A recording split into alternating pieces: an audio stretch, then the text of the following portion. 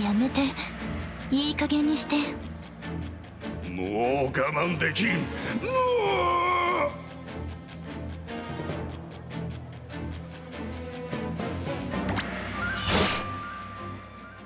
う！いてえ！こいついきなり切りつけやがって。一体どういうつもりだ？あのこのドクロがあなたに何かしたのでしょうか？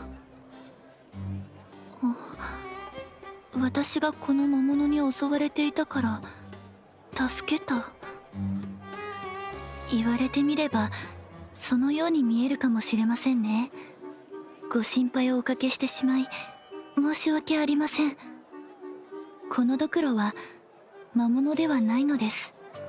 私の父です。とある事情でドクロの姿になってしまったのですが精神は孫をことなく私の父親です。ほらお父さんからも謝って。何言ってるんだ忍この小僧が勘違いしていきなり俺を切りつけたんだぞ。謝るのはそっちの方だ。お父さん。すすみませんでした。というわけですのでこのドクロは他人に危害を加えることはありません。どうぞご心配なくまあいいわい。そんなことよりもさっきの女の子はどこに？おいた！そこのお姉さん！かわいいね！俺と一緒に食事でもしようぜ！あ何このドクロ！気持ち悪い！あっちに行って！他人に危害を加えることはありませんが多大なご迷惑をかけていますねお父さん。なんだ忍今いいところなんだから邪魔を。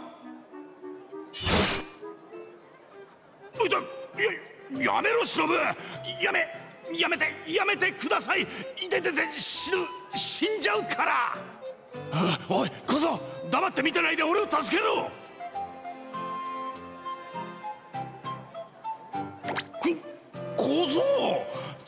涙もないやつだな。ドクロの俺が言うのもなんだが。